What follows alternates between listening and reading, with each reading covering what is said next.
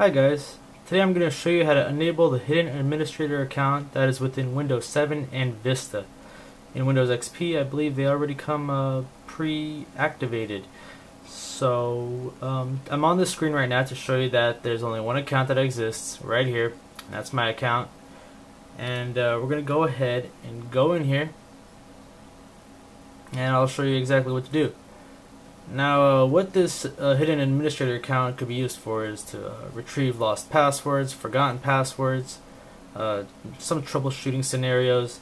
Um, but I know most people are just going to learn how to do this just to annoy others, change passwords, get into computers they shouldn't be getting into, etc. But I do not support that. This is not the reason I'm making the video. This is for troubleshooting and uh, forgetfulness reasons. But let's get started. What I'm going to do first is I'm going to put a fake password, not a fake, but I'm just going to put a decoy password in uh, my account to show you that you can in fact use this to uh, retrieve forgotten or lost passwords. So what I'm going to do is I'm going to go here and I'm going to create a password. We'll put bunny and create it. Okay, I forgot I put it again. Okay, bunny. Forgot I put it the second time bunny. Create it. And boom, now we are password protected. As you can see, it says right here, password protected. Okay, so we're going to close this since we have a password on this now. We're going to go to your start, all programs, accessories, and command prompt. Now you're going to get this black window, and you're going to type in NET user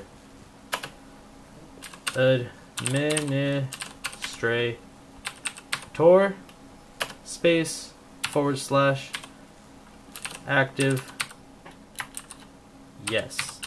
I'm going to zoom in so you guys can see exactly what I wrote. There it is. Net space user space administrator space forward slash active colon yes. A forward slash active colon yes is all one word without any spaces. and then what we're going to do, hit enter. As you can see, it completed successfully. So, you have uh, created the hidden administrator account. Now, to show that it's there, you go over here, switching users, and there it is. Administrator account. Now you can go in there, it's going to load up just like any other account. Difference is, you have full administrative privileges here. So to show that you could uh, really mess around with accounts, you go to your control panel, and if you forgot your password, you go here, manage other accounts, and there it is. That's my uh, actual username that I uh, actively use. I'm going to go in here, and right here we have remove the password. So we're going to click that. It's going to say, do you want to remove it? Yep. And there it is. It's gone.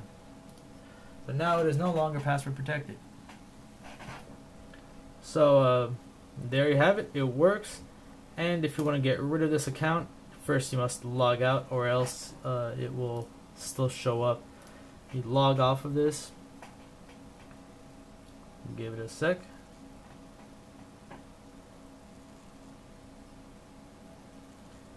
There it goes, logging off.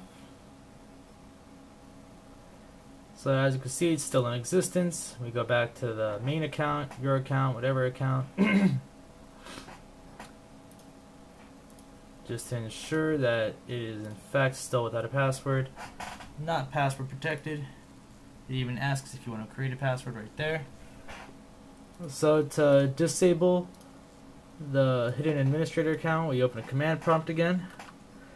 Type in net user administrator forward slash active. Oop, sorry about that. Active colon no. See, put no this time because no, we don't want it.